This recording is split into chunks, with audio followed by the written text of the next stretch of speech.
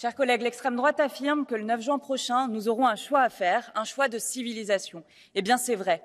Soit nous choisissons le déclin et l'enfermement national populiste, soit nous faisons le choix de l'écologie pour répondre au nouveau régime climatique et à la justice sociale. C'est ce choix que nous aurons à faire. Madame la Présidente, j'ai bien écouté votre discours, à certains égards courageux. Mais je veux vous parler de l'écologie parce que j'ai entendu vos paroles mais j'ai aussi entendu vos silences. Vous nous parlez de la beauté des forêts européennes, de la mer de Waden, mais vous persistez dans votre silence sur la restauration de la nature. Or, cette loi doit être adoptée, vous le savez, il faut tenir bon. Votre discours, finalement, est celui d'une captive, prise au piège dans la prison rétrograde des dogmes de votre famille politique.